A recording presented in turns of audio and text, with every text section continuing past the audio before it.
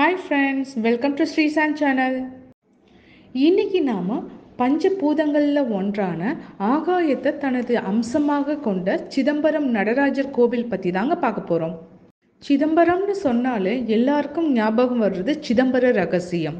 அந்த காலத்தில் சித்தர்கள் கண்டுபிடித்த மனித உடலின் தத்துவத்தை அடிப்படையாக கொண்டு தான் இந்த கோவிலோட கட்டுமானம் இருக்கும்.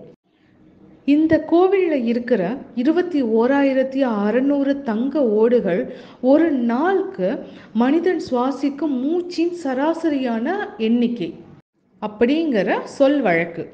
இந்த கோவிலுக்கு ஒன்பது வாசல் இருக்குது அந்த ஒன்பது வாசலும் மனிதரோட உடம்புல இருக்கிற ஒன்பது துவாரங்களை குறிக்குதுங்க. அந்த மேல் கூரையில் எழுபத்தி ரெண்டாயிரம் ஆணிகள் அடிச்சிருப்பாங்க. அது என்னது அப்படின்னா நம்ம மனித உடலில் ஓடும் எழுபத்தி ரெண்டாயிரம் நாடி நரம்புகளை குறிப்பதாகும். நான்கு வேதங்கள் ஐந்து பூதங்கள் ஆறு சாஸ்திரங்கள் இது எல்லாத்தையுமே குறிக்கிற மாதிரி இந்த கோவிலோட தூண்கள் இருக்கும். அறுபத்தி நாலு கலைகளை குறிக்கும் விதமாக இங்கே அறுபத்தி நாலு சாத்து மரங்கள் இருக்கும். நிறைய பேர் இந்த கோவிலோட மூலவர் நடராஜர் அப்படின்னு நினச்சிட்டு இருக்காங்க. மார்கழி மாதம் திருவாதிரை வெகு சிறப்பாக நடக்குங்க. மார்கழி மாதம் திருவெம்பாவைங்கிற பாடல் பாடி சிவனுக்கு விசேஷமாக வழிபாடு நடத்துவாங்க. ஆனால் இங்கே இருக்கிற மூலவர் லிங்க வடிவத்தில் இருக்கிற ஆதி மூலநாதர். ஆதிசங்கர பிரதிஷ்டை செய்த ஸ்ரீ சக்கரம் இங்கே இருக்கிற அம்மன் சன்னதியில் இருக்கு. இந்த கோவிலுக்கு புதுசாக போகிறவங்க நடராஜர் சன்னதியை தேடி ஓடுவாங்க. தமிழ் பாட புத்தகத்தில் நம்ம பெரிய புராணம்ங்கிற ஒரு சப்ஜெக்ட் படிச்சிருப்போங்க. அந்த பெரிய புராணம் எழுதினவங்க சேக்கிழார்.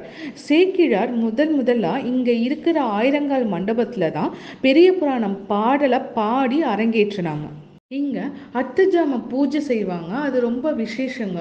ஏன் அப்படின்னா உலகத்தில் இருக்கிற எல்லா தெய்வங்களும் இங்கே கலந்து கொள்வதாக ஒரு ஐதீகம் இருக்குங்க. சிதம்பரம்ங்கிற வார்த்தையை சித் ப்ளஸ் அம்பரம் அப்படின்னு ரெண்டு வார்த்தையாக நீங்கள் பிரிச்சிங்க அப்படின்னா இதில் சித் அப்படிங்கிறதுக்கு அறிவுங்கிற பொருள். அதே போல் அம்பரம் அப்படிங்கிறதுக்கு வெட்ட வெளி அப்படிங்கிறது பொருள். சிதம்பர ரகசியம்னு சொல்கிறாங்க இல்லையா? அது என்னங்கிறத பார்க்கலாம். சித்திர சபையில் சபாநாயகரோட வலப்பக்கத்தில் ஒரு சின்ன ஒரு பாதை இருக்கும். அதில் இருக்கிற திரையை அகற்றிட்டு அங்கே ஆரத்தி காமிப்பாங்க. ஆனால் அதுக்குள்ள திருவுருவம் எதுவுமே இருக்காதுங்க. தங்கத்தினால ஆன ஒரு வில்வ தலைமாலை தான் தொங்க விட்டுருப்பாங்க. இதோட ரகசியம் இறைவன் இங்க ஆகாய உருவில் இருக்கிறாங்க அப்படின்னு சொல்லிட்டு நமக்கு சொல்றாங்க.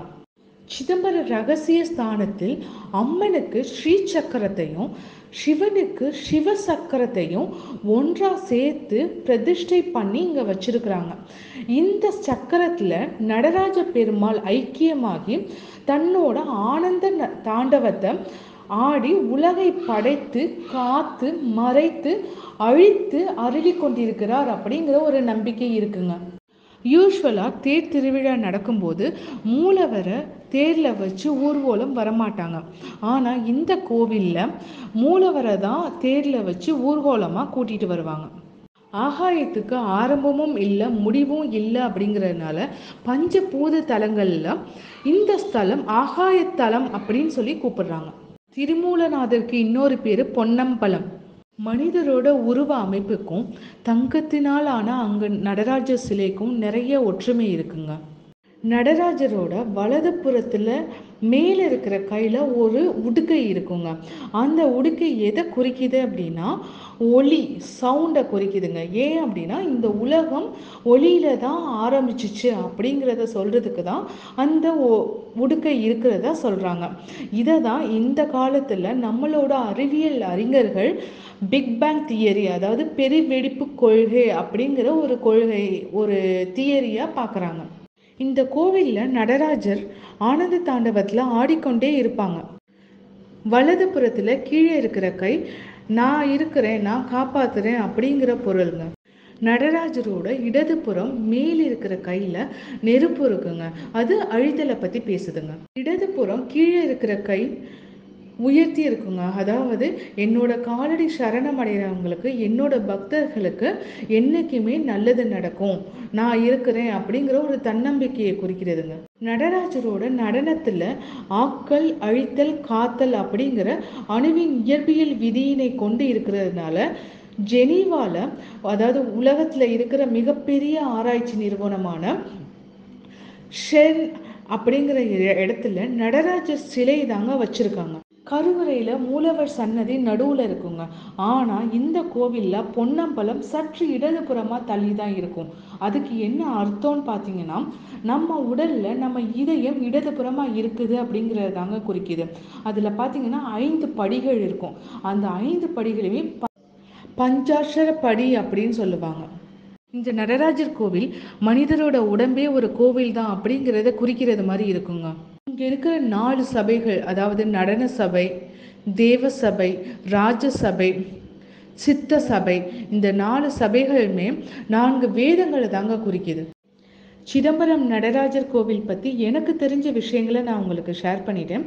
உங்களுக்கு இந்த வீடியோ பிடிச்சிருக்குன்னு நம்புகிறேன் நெக்ஸ்ட் வீடியோவில் வேறு ஒரு நல்ல கண்டென்ட்டோட மீட் பண்ணுவோங்க. அது வரைக்கும் தேங்க்ஸ் ஃபார் வாட்சிங் Srisan channel tata bye bye